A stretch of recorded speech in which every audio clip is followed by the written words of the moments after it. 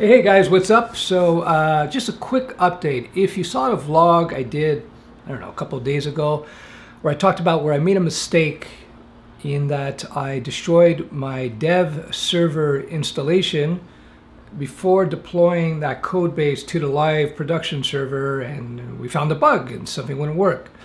And I guessed at the time that it was probably a database issue because the code in the dev server was of course identical to the code being deployed to the production or the live server because we use a re repo, we use GitHub, everything is managed through that. So it had to be something else. It had to either be a server configuration or a database issue. So it wasn't a server configuration because both the devs, the dev installation and the uh, production server were on the exact same uh, virtual private network, excuse me, virtual private server.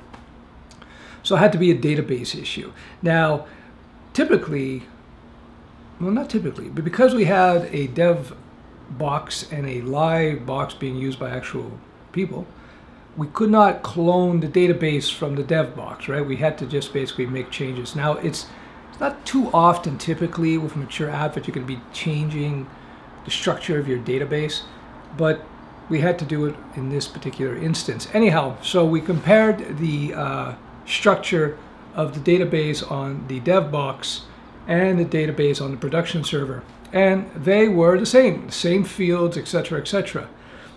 But when we looked a little closer, we saw the problem. There was a setting, a not null setting on one of the fields which was causing a problem. That's all it was. Now, if you don't know database design, then this is probably, you know, gobbledygook for you. But at the end of the day, there's like a, basically a, a, an attribute, if you will, a little setting, if you will, on one of the database fields or columns.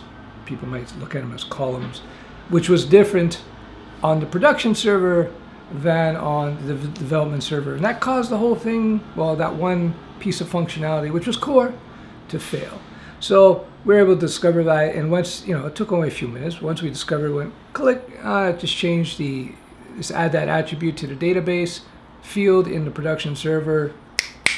Bing bang, Bob's your uncle, away we go. So that's the update. Uh, yeah, to that story. Little development story there. Ciao, ciao.